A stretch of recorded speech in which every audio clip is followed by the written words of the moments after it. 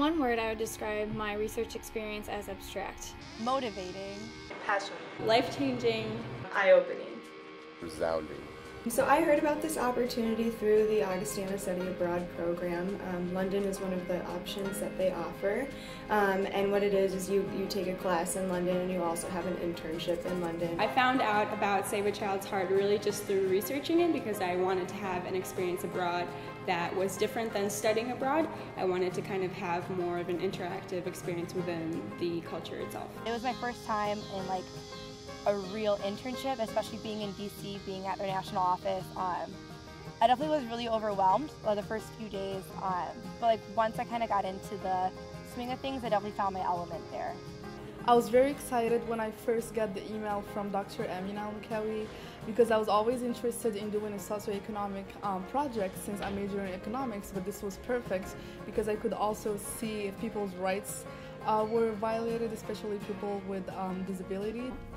My first impression of it was actually this would be something good that could go on my resume. I didn't really look into what I could actually benefit from the opportunity.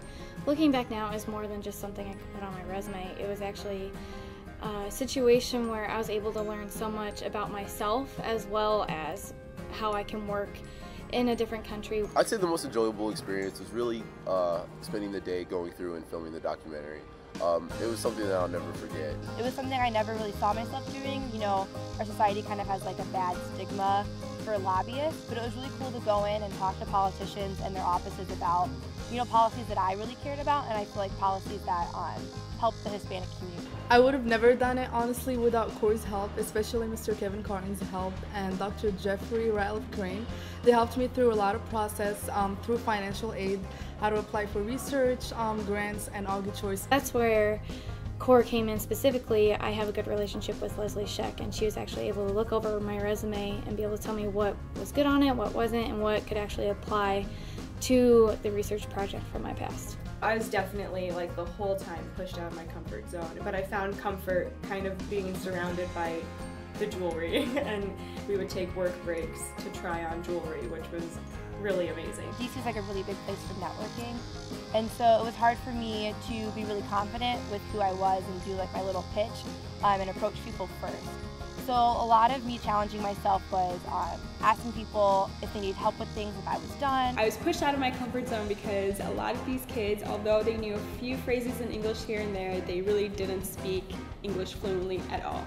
So it was a very new experience for me in the sense that I had to learn how to interact without my words. The biggest thing that I learned while in Japan was just becoming comfortable when you're uncomfortable. So having the experience of doing that on my own and going out of my comfort zone and really um, trying to challenge myself, I think that that is something that will definitely be valuable for me in the future after Augustana. I would say to anyone who's interested in applying for internship to do it. I really push for applying for internships that will help you gain a new sense of confidence and even maybe open up new doors and new interests. I keep just telling people that I had no idea a place could steal your heart the way London stole mine. When I was younger, I hadn't, I wouldn't never have thought that I would have had an opportunity to travel to Africa. After having this internship, I feel like I have a better understanding of like more careers that were open to me. It was a hard decision to make, and my mom actually um, sat me down and told me that home would always be there and that home would be waiting for me to tell all of my stories and my adventures. And I'm really appreciative that Augustana gave me the opportunity to go explore my major, explore my options, and really um, just enjoy life.